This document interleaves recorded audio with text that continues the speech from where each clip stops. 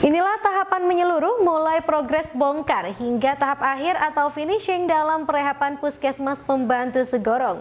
Ukuran panjang 12 kali 6,5 meter program TMM Rektas Ke-111 Kodim 1202 Singkawang di Desa Stangau Jaya, Kecamatan Seluas, Kabupaten Bengkayang, Provinsi Kalimantan Barat. Beginilah awal proses bongkar perehapan Puskesmas Pembantu Segorong ukuran panjang 12 kali 6,5 meter.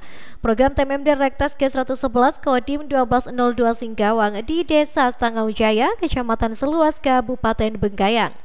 Anggota Satgas MMD Rektas K111 Kodim 1202 Singkawang melakukan yang terbaik dalam pembangunan sasaran fisik berupa renovasi Puskesmas Pembantu Segorong, Desa Stangau Jaya, Kecamatan Seluas, Kabupaten Bengkayang. Proses perehaban dilakukan mulai dari atap hingga menyeluruh seluruh bangunan yang ada di dalamnya. Akhirnya tahap akhir dan finishing dapat dinikmati bersama. Puskesmas Pembantu Segorong Kecamatan Seluas nampak rapi dan bersih. Dengan warna putih dan hijau, ruangan di dalam pun terlihat nyaman untuk dihuni. Kamar mandi, beberapa ruang lainnya pun juga kembali seperti baru. Serda Dahlan Satgas MMD Rektas K111 Kodim 1202 Singkawang haru bercampur syukur atas capaian program TMMD dalam perehapan Pustu Segorong. Mewakili seluruh tim yang bertugas, Sada Dahlan mengucapkan terima kasih kepada warga dan segenap elemen masyarakat yang membantu dalam penyelesaian perehapan Pustu Segorong ini. Berkat kerjasama yang ada, semua berjalan lancar tanpa hambatan. Selamat pagi. Ini saya masih di Posyandu untuk mengerjakan tahap finishing.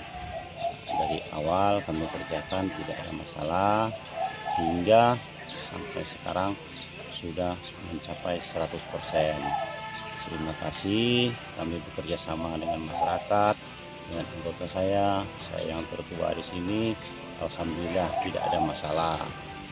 Dengan baik-baik aja sama masyarakat, dengan bantuan masyarakat.